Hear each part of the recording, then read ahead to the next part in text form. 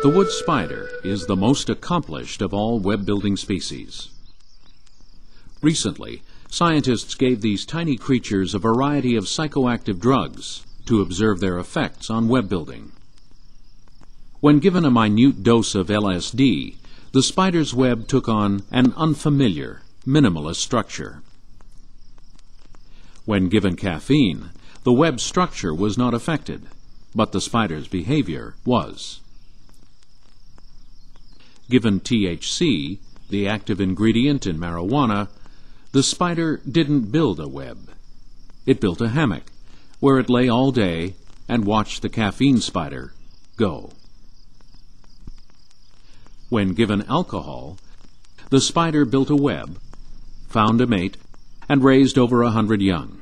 But the mate got a restraining order, and now the spider can't go within a hundred centimeters of the web.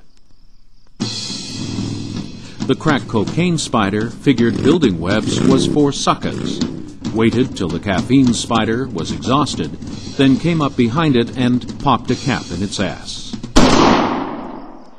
Nice web, Mr. Crack Spider. When winter came, the marijuana spider had no place to live. It ended up in the crack web as the crack spider's bitch. For more information on the crack spider's bitch, contact the Canadian Wildlife Service in Ottawa.